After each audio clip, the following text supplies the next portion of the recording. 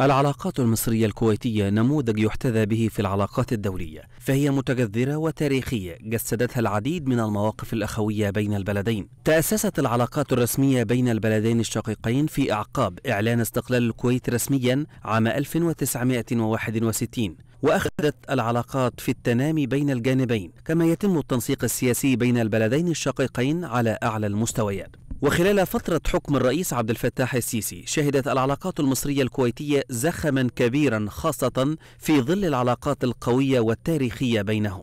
وجاءت زيارة الرئيس عبد الفتاح السيسي إلى الكويت للنهوض بالتعاون الثنائي في كافة مجالات العمل المشترك وتعزيز علاقات التعاون التاريخية والراسخة والمتنامية بين البلدين والشعبين الشقيقين في مختلف المجالات الحيوية إيمانا بوحدة الهدف والمصير والتطلع إلى مستقبل مزدهر. وتكتسب الزيارات بين البلدين أهمية كبيرة نظرا للتحديات الجسام التي تعصف بالعالمين العربي والإسلامي. وتؤكد أهمية العمل العربي المشترك للتصدي لتلك التحديات ومواجهة التهديدات التي تهدد مستقبل المنطقة والتي تتطلب العمل على تعزيز المصالح المشتركة في شتى المجالات فمصر تؤكد دائما تأييدها ووقوفها إلى جانب كل ما من شأنه تحقيق أمن الكويت واستقراره سياسيا واقتصاديا وعسكريا.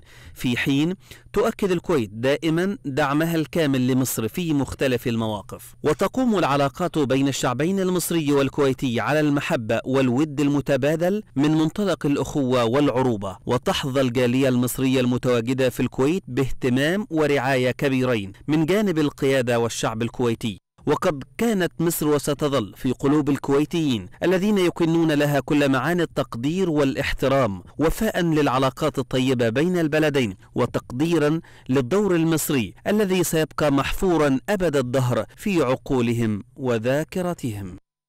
مزيد من القوة والأهمية تعكسها العلاقات الاقتصادية بين مصر والكويت التي تعززت بالزيارات المتبادلة على مستوى القيادات السياسية والوفود الاستثمارية أيضا. إذ استطاعت مصر أن تعزز من مكانتها كسوق جاذبة للاستثمارات خاصة في ظل ما تم إنجازه من إصلاحات اقتصادية عكست ملامح وشخصية الجمهورية الجديدة. فهناك إرادة حقيقية لدى المستثمرين الكويتيين لزيادة تلك الاستثمارات في السوق المصرية والتي ينظر إليها على أنها سوق واعدة. تتيح مصر عوائد استثمارية جاذبة للمستثمرين إضافة إلى ما تتيح من فرص إعادة تصدير المنتجات إلى الأقاليم الجغرافية المرتبط بها اتفاقيات معاملة تفضيلية بالنسبة إلى مصر سواء على مستوى القارة الإفريقية أو الأوروبية وحتى الولايات المتحدة الأمريكية وأمريكا اللاتينية والدول الأسيوية. كل هذا إلى جانب ما تتمتع به مصر من استقرار سياسي.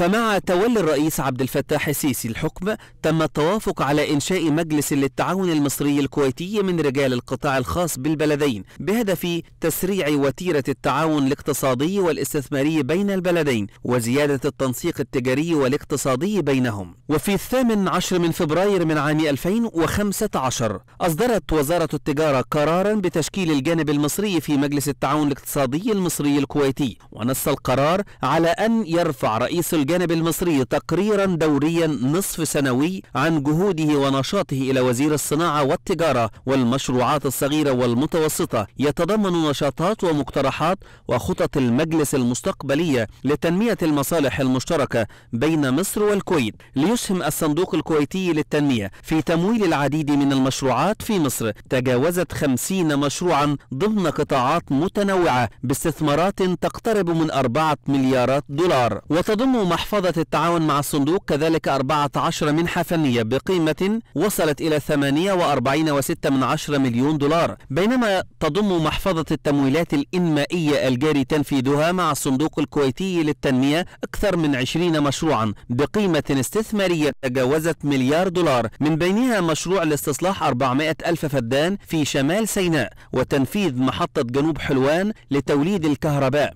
ومشروع الربط الكهربائي بين مصر والسعودية وتوسيع شبكات الغاز الطبيعي في محافظتي القاهرة والجيزة وإنشاء خمس محطات لتحلية المياه في سيناء.